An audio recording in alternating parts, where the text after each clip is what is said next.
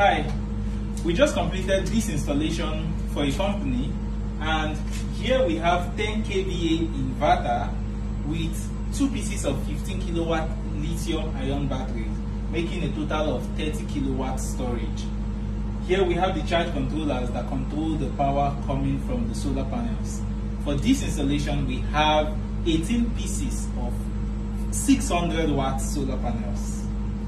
The essence of this is to keep the company off grid during work hours.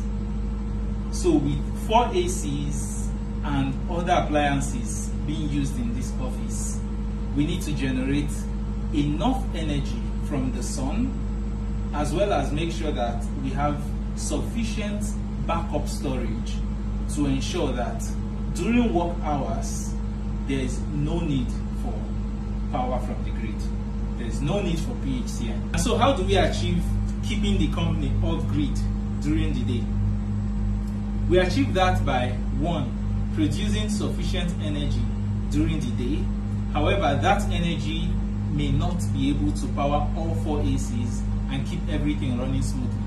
And so, the day before, we're able to employ grid power to charge the batteries full in preparation for the new day